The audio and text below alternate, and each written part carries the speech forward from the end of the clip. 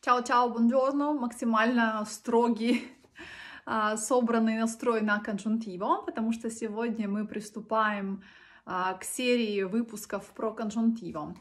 А, что такое конжунтиво? Конжунтиво, я думаю, что вы о нем услышали, узнали уже не на первом году обучения. Кто узнал на первом году обучения, тот, видимо, какой-то идет э, цели семимильными шагами, потому что обычно конжунтиво, э, некоторые до него вообще не доходят никогда, э, и это нормально, то есть не все должны э, знать, постигать конжунтиво, но кто до него доходит, э, сталкивается с такой ситуацией, как вы помните, я помню до сих пор э, в каком-то фильме сказали, там, забудьте о том, что вас учили, э, сейчас все будет по-другому. Вот примерно с конжунтива та же история, ты вроде учишь, учишь, учишь итальянский язык, а потом ты открываешь, э, вы открываете с преподавателем тему конжунтива, и он тебе говорит, вот все, что ты до этого знал, вот это все не то, сейчас начнется э, то.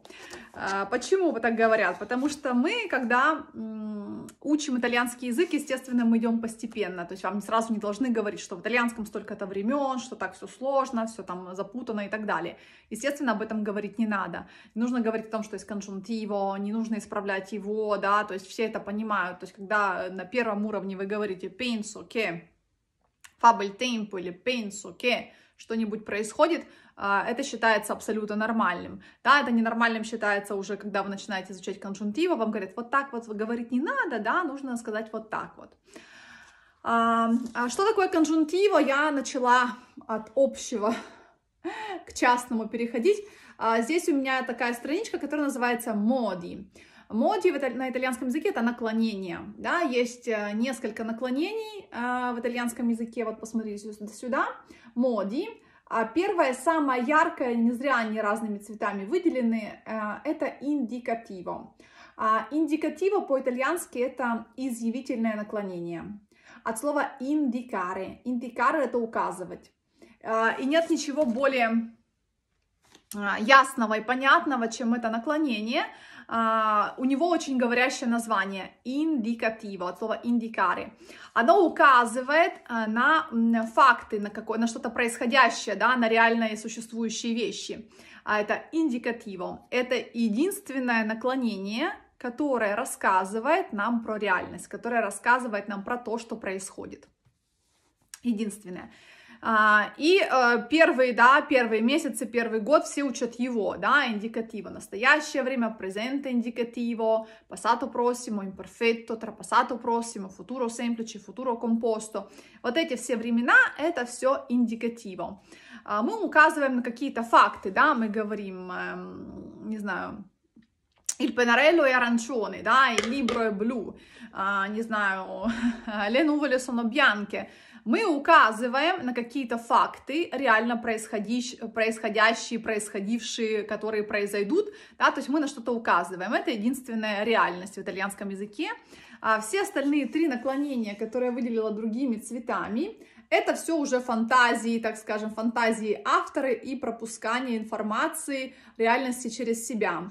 Это императиво, императиво повелительное наклонение, то есть мы пропускаем э, что-то через себя, и э, на других направляем свои желания, да, мы говорим «chiudi la finestra per favore», это не объективность, это я хочу, чтобы ты закрыл окно, да, это мое желание по отношению к тебе в данный момент, «chiudi la finestra», э, «dimmelo», скажи мне это, э, «dammi un bicchiere d'acqua», дай мне стакан воды, да, это мои ощущения, направлены через кого-то, да, то есть я повелеваю а, кем-то, чтобы он осуществил то, что я хочу.